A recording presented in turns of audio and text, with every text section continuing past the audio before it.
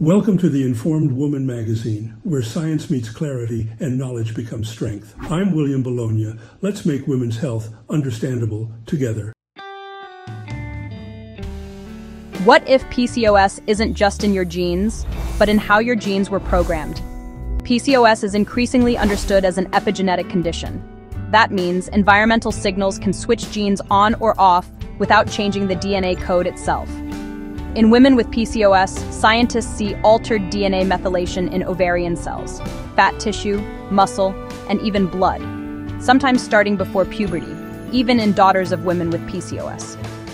Key genes that control androgen production become hypomethylated. The result? Ovarian theca cells overproduce testosterone.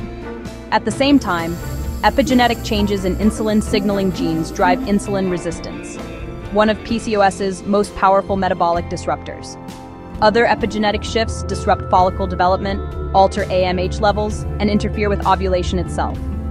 Histone modifications further reshape gene expression, influenced by early life exposures like maternal obesity, high insulin, or excess androgens during pregnancy, and microRNAs, tiny regulators of gene expression, are dysregulated, reinforcing androgen excess, inflammation, and metabolic dysfunction.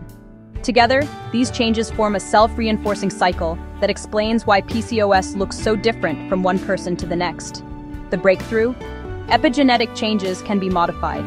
Lifestyle interventions, especially when combined with metformin, have been shown to shift methylation patterns in PCOS-relevant tissues.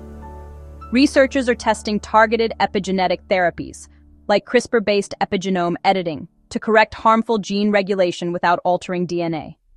Even early embryos show epigenetic memory in PCOS, raising powerful but still experimental questions about intergenerational transmission. PCOS isn't just inherited, it's programmed. And for the first time, science is learning how to rewrite the instructions. Thanks for watching another video by the Informed Woman magazine. Please feel free to comment and ask questions. Subscribe for more science-driven medical insights.